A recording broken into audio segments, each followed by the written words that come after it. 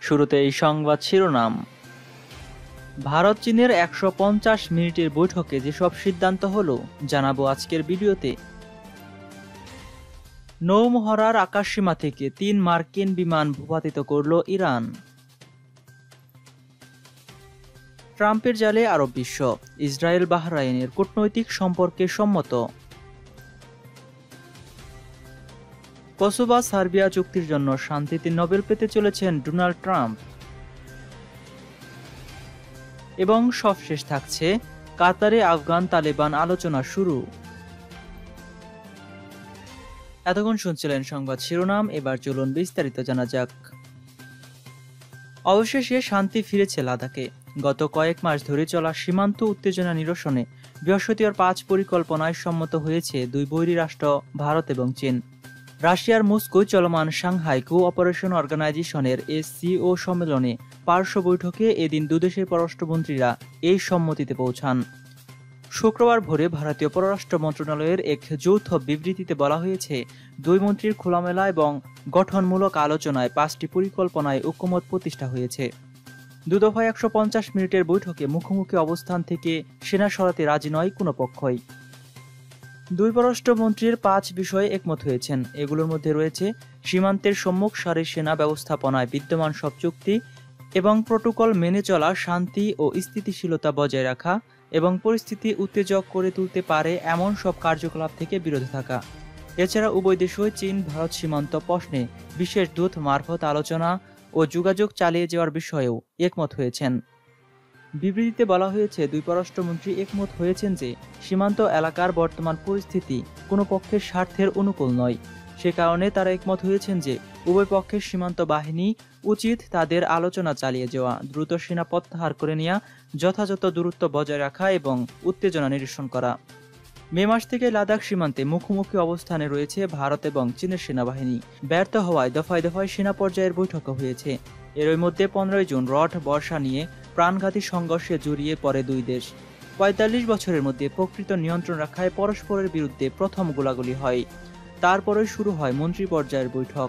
প্রথমে বসেন দুদেশের প্রতিরক্ষা মন্ত্রী, এরপরই বসলেন দুদেশের পররাষ্ট্রমন্ত্রী প্রথম দফা সহিংসতার পর রাশিয়া হস্তক্ষেপেই প্রতিবেশী দুই দেশের পররাষ্ট্রমন্ত্রী ফোনে কথা বলেন, কিন্তু প্রকৃত নিয়ন্ত্রণ রাখার পরিস্থিতি ভালো হওয়ার চেয়ে আরও জটিল হয়ে যায়। পরে এসসিও সম্মেলনের ফাঁকে ভারতীয় পররাষ্ট্রমন্ত্রী এস জয়শঙ্কর এবং চীনা পররাষ্ট্রমন্ত্রী ওয়াং ইর মধ্যে বৈঠকের উদ্যোগ নেন রাশিয়ার পররাষ্ট্রমন্ত্রী শেঙ্গের ল্যাবরব। প্রসঙ্গত, গত পনেরোই জুন গালোয়ানের পেট্রোলিং পয়েন্ট চোদ্দই সংঘর্ষের পর কুর কমান্ডার স্তরের বৈঠকের পাশাপাশি জাতীয় নিরাপত্তা উপদেষ্টা অজিত দুবাল ভিডিও কনফারেন্স করেছিলেন ওয়াং এর সঙ্গে।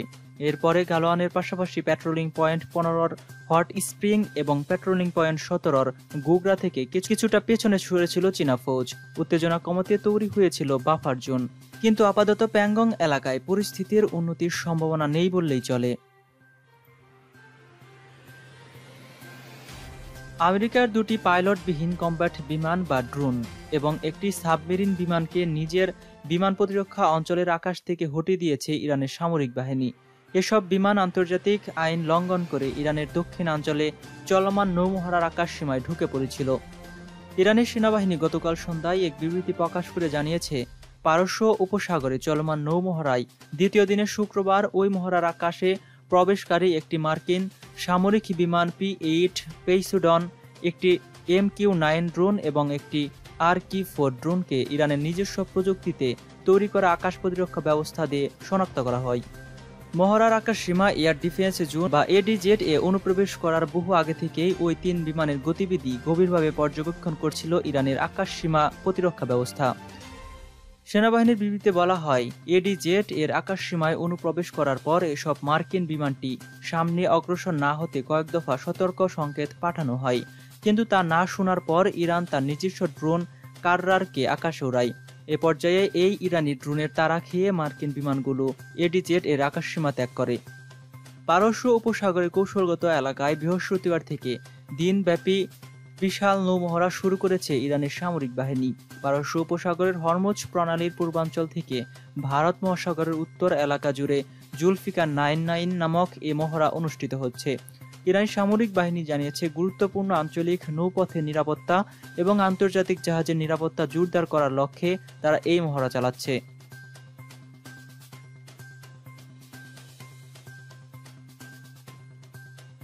পূর্ণ কূটনৈতিক সম্পর্ক স্থাপন এবং সম্পর্ক স্বাভাবিককরণের সম্মত হয়েছে বাহরাইন এবং অবৈধ ইহুদি রাষ্ট্র ইসরায়েল। শুক্রবার এ ঘোষণা দিয়েছেন মার্কিন প্রেসিডেন্ট ডোনাল্ড ট্রাম্প। এক যৌথ বিবৃতিতে যুক্তরাষ্ট্র, বাহরাইন এবং ইসরায়েল বলেছে, ইসরায়েলি প্রধানমন্ত্রী বেনিয়ামিন নেতান ইয়াহু এবং বাহরাইনের বাদশাহ হামাদ বিন ইসা আল খলিফার সঙ্গে ট্রাম্প কথা বলার পরপরই এই সম্মতিকে পৌঁছানো গেছে। বিবিসি জানিয়েছে, এমন বিবৃতি ট্রাম্প টুইট অ্যাকাউন্টে পোস্ট করেন। গত মাসে একই ধরনের সম্মতিতে পৌঁছায় ইসরায়েলে এবং সংযুক্ত আরব আমিরাত। সম্পর্ক স্বাভাবিক করতে আগামী পনেরোই সেপ্টেম্বর হোয়াইট হাউসে আনুষ্ঠানিকভাবে চুক্তিতে সই করবে তারা। তৃতীয় আরব দেশ হিসেবে ইসরায়েলের সঙ্গে চুক্তিতে জড়ায় আমিরাত। এর আগে মিশর এবং জর্ডান ইসরায়েলের সঙ্গে চুক্তি করে। এর আগে গত সপ্তাহে প্রথম মুসলিম দেশ হিসেবে জেরুজালেম দূতাবাস খোলার আগ্রহ প্রকাশ করে কোসোবা একই পদক্ষেপ নেয়ার চিন্তা ভাবনা করছে সার্বিয়াও। তবে কোসোবাকে এমন কাজ করা থেকে বিরত থাকতে আহ্বান জানিয়েছে তুরস্ক। দেশটির পররাষ্ট্র মন্ত্রণালয় থেকে কোসোবাকে এমন চুক্তি থেকে বিরত থেকে ফিলিস্তিনিদের অধিকারকে সম্মান জানাতে বলা হয়েছে।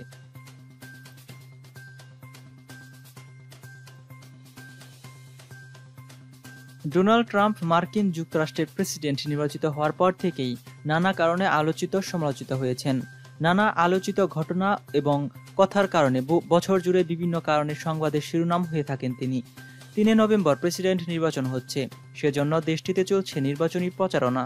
নির্বাচনী খবরের সঙ্গে এবার যুগ হয়েছে ট্রাম্পের শান্তিতে নোবেল পুরস্কার, যা কিনা ইসরায়েল আমিরাত চুক্তির ক্ষেত্রে গুরুত্বপূর্ণ ভূমিকার জন্য দেয়া হবে বলে আলোচনা হচ্ছে। দুই হাজার একুশ সালের নোবেল পুরস্কারের জন্য গত বুধবার ট্রাম্পকে মনোনয়ন দেন নরওয়ের সংসদ সদস্য ক্রিশ্চিয়ান ট্রাইব্রিং জিডিডে। আর এবার দ্বিতীয় মনোনয়ন হিসেবে কসুবা এবং সার্বিয়ার চুক্তির আওতায় আনতে ভূমিকা রাখার পুরস্কারটির জন্য তার নাম প্রস্তাব করেছেন সুইডেনের সংসদ সদস্য ম্যাগনাস জ্যাকবসন। যে কোনো দেশের জাতীয় সংসদ সদস্য সাবেক নোবেল জয়ী বিশ্ববিদ্যালয়ের অধ্যাপক এবং বিভিন্ন আন্তর্জাতিক সংস্থার সদস্যরা যে কাউকেই নোবেল পুরস্কারের জন্য মনোনয়ন দিতে পারেন। তবে ট্রাম্পের মনোনয়ন নিয়ে এখনও কোনো মন্তব্য করেনি নরওয়ের নোবেল কমিটি। গত কয়েক দশকে এমন অনেকেই হুটহাট করে অনেক ব্যক্তিকে শান্তিতে নোবেলের জন্য মনোনয়ন দিয়েছেন। শেষ পর্যন্ত নির্দিষ্ট কয়েকজন যেতে পারেন সংক্ষিপ্ত তালিকায়। ট্রাম্পকে দ্বিতীয় মনোনয়ন দেওয়ার ঘোষণা দিয়ে জ্যাক বসন শুক্রবার টুইটে বলেন, হোয়াইট হাউসের মাধ্যমে শান্তি এবং অর্থনৈতিক উন্নতির যৌথ চুক্তির জন্য আমি মার্কিন সরকার, সার্বিয়া এবং কোসোভাকে শান্তিতে নোবেলের মনোনয়ন দিয়েছি। বাণিজ্য এবং যোগাযোগ শান্তির জন্য গুরুত্বপূর্ণ।